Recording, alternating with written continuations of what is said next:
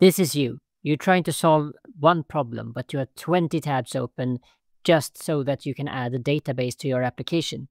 This is really painful, right? There is a better way. Go into Visual Studio Code, install the Microsoft Learn MCP server, and you will get documentation immediately. Let me show you how. Our app so far is using static data. That is no good. We need an actual database, so what do we do? We go in here and we type at MCP to locate the proper MCP server. We uh, find it in the list. We click install. That means we're set up. And now we test it.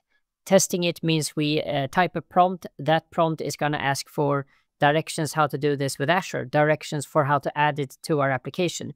So you can see here how it goes through various MCP servers, collecting the information it needs, scaffold what it needs, configures what it needs.